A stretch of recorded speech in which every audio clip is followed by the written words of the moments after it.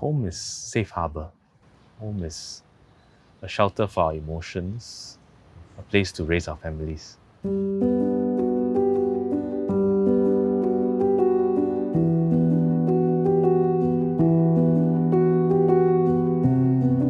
One experience really struck me. These are two elderly gentlemen. They were sleeping in a HDB pavilion. They're friends. They knew each other because of their circumstances, and uh, they've been in this situation for years. You know, for years. The younger man in the 60s, he just had become so accustomed to sleeping out in the open that he just can't bring himself to apply for rental housing. We can find you help, but you don't want to go into a home. And when we say that, some people just say, cannot be true, lah, you know? offer housing, he don't agree.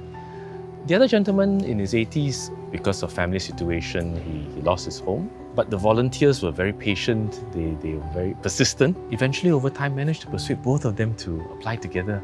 So they had a nice housewarming party and uh, all very happy, volunteers.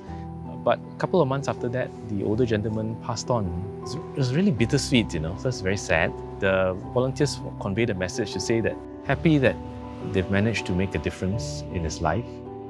And uh, it was quite telling that he himself shared the message that finally he has a home.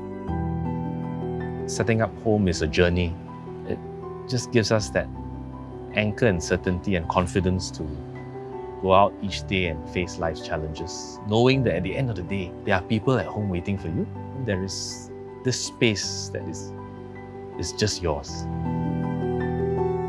I'm Desmond. I'm your MP for West Coast GRC.